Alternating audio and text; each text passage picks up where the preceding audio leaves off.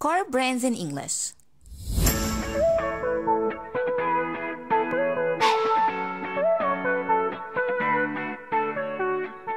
Many people are mispronouncing car brands in English, and that's why I've created this short video for you, and we are going to cover the most famous car brands in English. Let's start by this one that I'm quite sure, guys, that you are mispronouncing. You probably say Hyundai, right? This doi, this is like the mere beautiful Egyptian accent. So how can I say this brand in English? I say Hyundai, Hyundai, Hyundai. For example, she was driving a Hyundai last time I saw her. So again, guys, we never say Hyundai, we say Hyundai, Hyundai. The second car brand I'm going to cover in this short video is Mercedes. Again, we can divide this brand into three syllables in order to make it easy for you. So I say Mer, say, these, Mercedes, Mercedes. I saw two Mercedes crash in front of me. Let's move to the third core brand. This brand has two pronunciations according to the American and the British accent. If you are speaking American, you're gonna say Jaguar, Jaguar, Jaguar. If you're speaking British wise, you're gonna say Jaguar, Jaguar. And I don't actually prefer the British accent, so we can just say Jaguar. For example, Jaguars are very expensive. Now moving to another famous car brand which is called Dodge. Dodge. So take care guys of the O sound because I'm not saying Dodge. Okay, it's not Dodge, it's Dodge. Dodge. The Dodge is an American brand. How about this one? I say Porsche.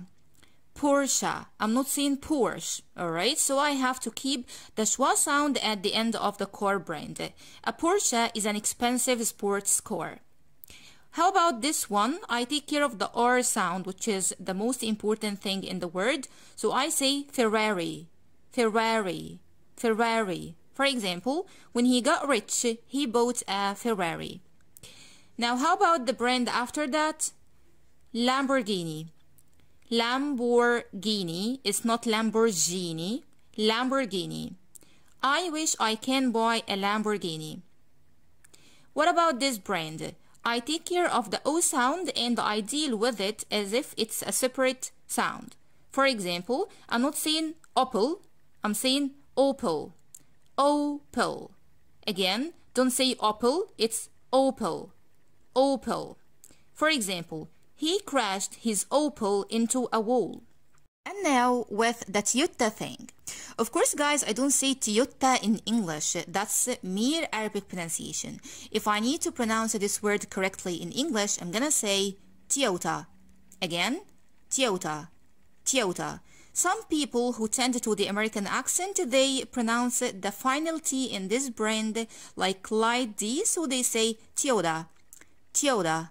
Toyota, the same like we do in water, for example. So whether we say Toyota or Toyota, both are correct. However, I can never say Toyota. For example, Toyota cars are popular for middle class people. This brand is kinda easy because the pronunciation in English is close to our pronunciation in Arabic. So I say Nissan, Nissan, Nissan. For example, he bought a Nissan for his wife. This brand is a kinda shock for me because we do not pronounce the S like an S. I say ch sound. So this is not a Skoda, this is Skoda. Skoda. Skoda. For example, the first car I bought was a Skoda. That's another example for an easy brand after the Nissan brand, which is Volvo. Volvo. Volvo. But actually you have to take care of the last O because it's not Volvo, it's Volvo. Vo. For example, my friend has bought a Volvo.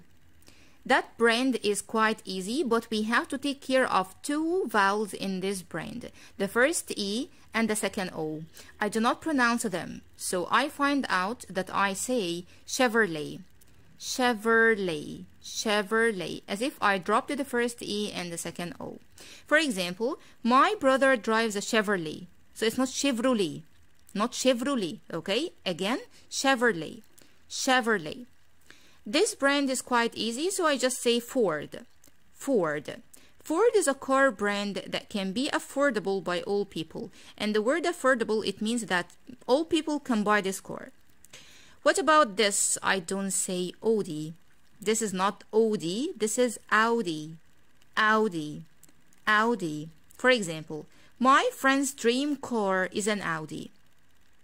And this one is easy, however, most people say ha, hammer.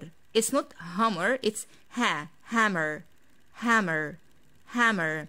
Hummer cars are well known for their big size. This brand, actually, I hear all people saying Kia, right? K, Kia. This is not Kia, this is Kia, Kia, Kia.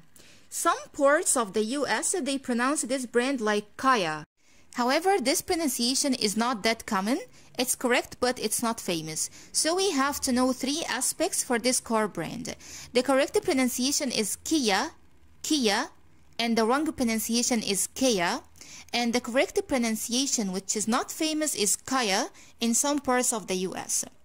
The brand after that, I divide it into three parts and I say Maserati, Maserati, Maserati, Maserati.